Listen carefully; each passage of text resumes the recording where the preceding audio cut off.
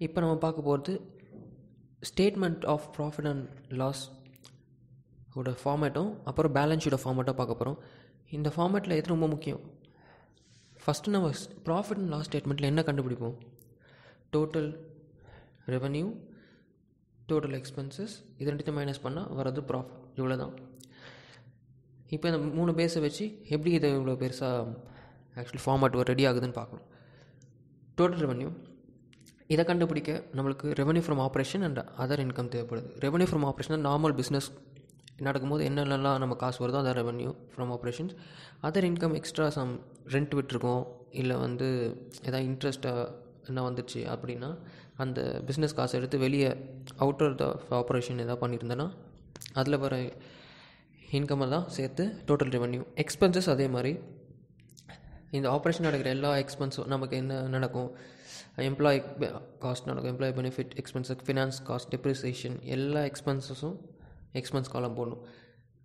இப்போது இது ரெண்டுத்தையும் மைனஸ் பண்ணி ஒரு ஆன்சர் வரும். அதுதான் profit before exceptional extraordinary items ஏன்னா எக்ஸப்ஷனல் எக்ஸ்ட்ராடினரி ஐட்டம்ஸ்னு ரெண்டு இருக்கும். இந்த எக்ஸப்ஷனல் ஐட்டம் எப்படின்னா இந்த நம்ம நார்மல் கோர்ஸ் ஆஃப் பிஸ்னஸ் அதான் பண்ணும்போது அதை தவிர்த்து வேறு ஏதாவது எக்ஸ்பென்சஸ் அதாவது வெளியே எக்ஸ்பென்சஸ் எதாக இருந்துச்சுன்னா இதை வந்து நம்ம மைனஸ் பண்ணுவோம்.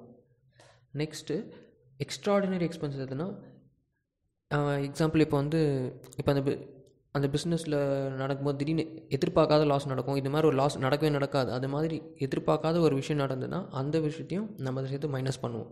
எக்ஸாம்பிள் இப்போ எர்த்குவேக் வந்துச்சுன்னா அங்கே பில்டிங் ஏதாவது விழுந்துச்சு விழுந்துச்சு அது மாதிரி இருந்தால் அதெல்லாம் எக்ஸ்ட்ராடினரி ஐட்டம்ஸ் அதெல்லாம் மைனஸ் பண்ணிப்போம். இப்போது இதிலேருந்து நெக்ஸ்ட்டு இதெல்லாம் மைனஸ் பண்ணிக்கப்புறம் தான் ப்ராஃபிட் பிஃபோர் டேக்ஸ் கிடைக்கும். இந்த எக்ஸ்ட்ரானரியும் எக்ஸப்ஷனல் பண்ணதுக்கப்புறம்.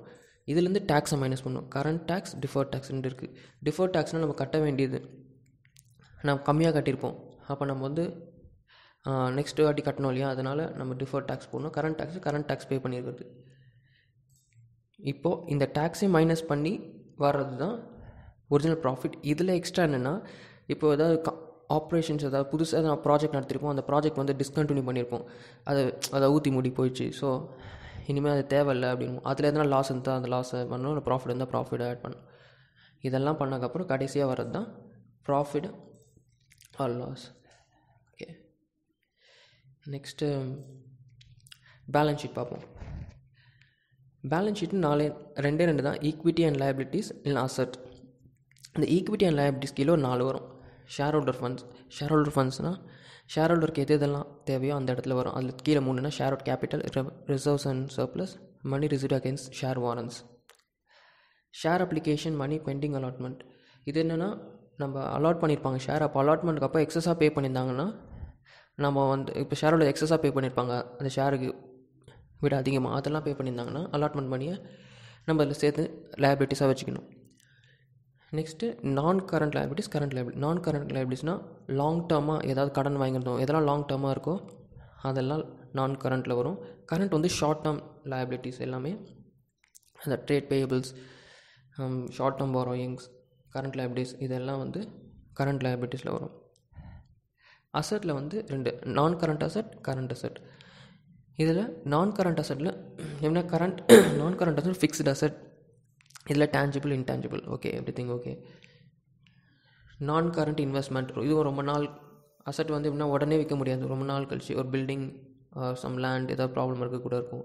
நம்ம லாங் டேர்ம் எல்லாம் non current asset short term asset எதுனா cash in hand trade receivables inventories தான் ஸ்டாக்ஸ் கரண்ட் இன்வெஸ்ட்மெண்ட்ஸ் ஷேர்ஸ் அதெல்லாம் கரண்ட் இன்வெஸ்ட்மெண்ட்ஸ்